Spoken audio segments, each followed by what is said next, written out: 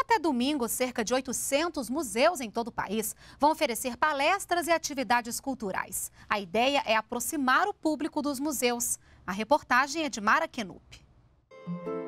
Na Universidade de Brasília, o Museu de Geociências abriu as portas para mostrar duas exposições.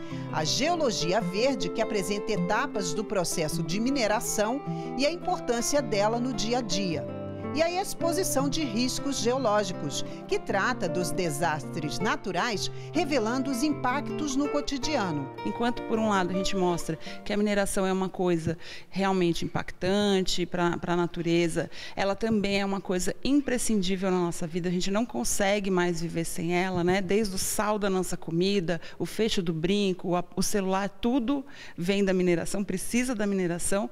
Por outro lado, as empresas começaram a olhar para esses esses impactos e tem tentado recuperar essas áreas, seja para fins turísticos, seja para reflorestar. Do outro lado da cidade, no zoológico, a atração é a exposição ao ar livre de animais empalhados. Uma técnica que remonta à forma dos bichos. A criançada que adora uma aventura se assustou. Eu pensava que eles são era de verdade.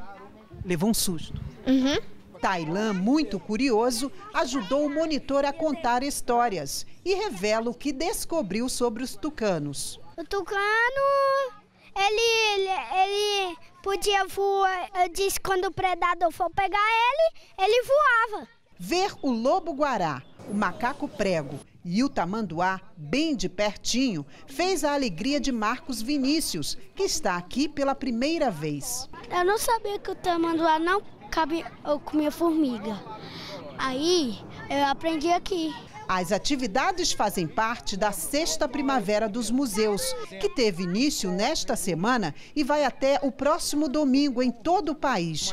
São 800 museus com atrações para públicos de todas as idades. O tema deste ano é a função social dos museus. Esse tema é, busca dialogar é, colocar em diálogo né, os museus com a comunidade e, e com a sua ação social, ou seja, inseri-los na sociedade, inserir cada vez mais os museus nos temas sociais, para que eles possam, a partir da cultura, da identidade, da memória, projetar ações para o futuro é, na relação com o meio e com a sociedade. A oportunidade de ver e conviver de perto com objetos que ajudam a fazer história. Assim é um museu, a serviço da sociedade. Aquela coisa de guardar o passado é essa coisa de preservar para o futuro.